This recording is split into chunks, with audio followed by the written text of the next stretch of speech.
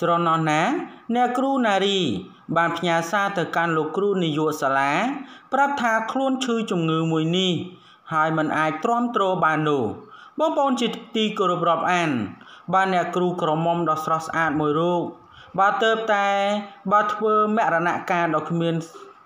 ការបាវលត្រឡប់របស់អ្នកគ្រូធ្វើឲ្យមហាជនជាច្រើនមានការសោកស្ដាយយ៉ាងខ្លាំងដោយបាត់បង់ធនធានមនុស្ស បាត់បង់គ្រូល្អ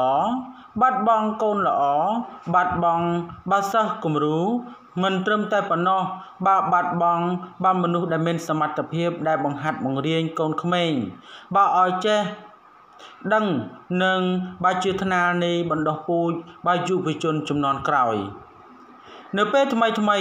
បើដឹងការពិតនៃការបាត់បង់ជីវិតអ្នកគ្រូធ្វើឲ្យមហាជនជាច្រើនពិតជាមានការសោកស្ដាយយ៉ាងខ្លាំង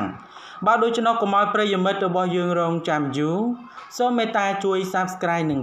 Like ដោយអ្វីដែលប្រិយមិត្តជាច្រើនបានទទួលជ្រាបទៅហើយថាអ្នកគ្រូឆនណារី ជាគ្រូបង្រៀននៅវិទ្យាល័យហ៊ុនសែនឈ្នួល បានទទួលបានមរណកាលកាលពីថ្ងៃអង្គារទី16ខែកុម្ភៈឆ្នាំ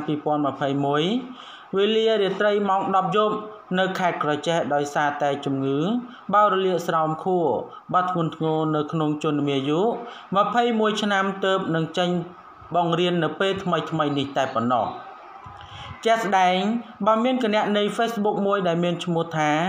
ច័ន្ទដានីហួយបានបង្ហោះសារថា ខ្ញុំបាននាយកសាលាបើវិទ្យាល័យហ៊ុនសែនស្នួល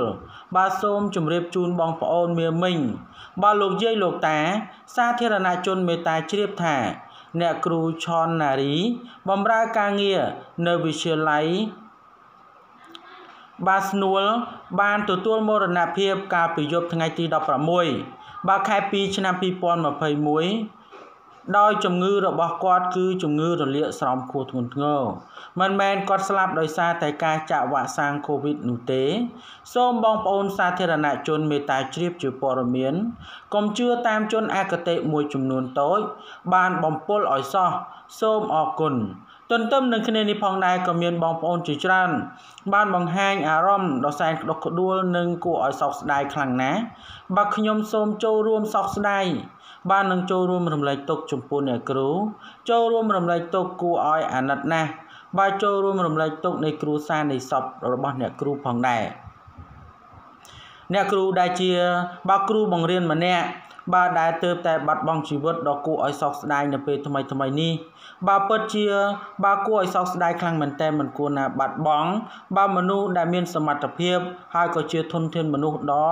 បើកម្រមួយផងដែរបាទដូច្នោះព័ត៌មាននេះមានប៉ុណ្ណឹងដើម្បីទទួលបាននូវព័ត៌មានថ្មីៗបន្ថែមទៀតសូម Subscribe និង Like